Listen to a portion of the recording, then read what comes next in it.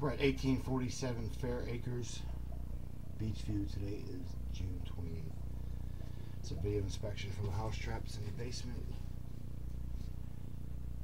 It's in the right corner of the game room. I'm in the main right now, 44 feet. I'm gonna come back towards